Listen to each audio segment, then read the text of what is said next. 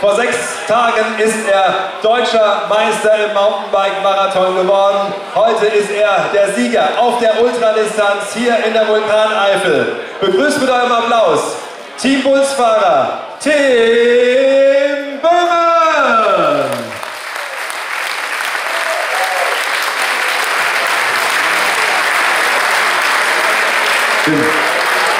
Glückwunsch. Ich komme mal ganz kurz hoch zu dir.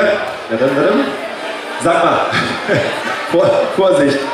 Erzähl noch mal ganz kurz, wir haben irgendwann die Woche gemeldet, da hast du gesagt, du kommst. Was hat denn den Ausschlag gegeben, in die Vulkaneifel zu kommen?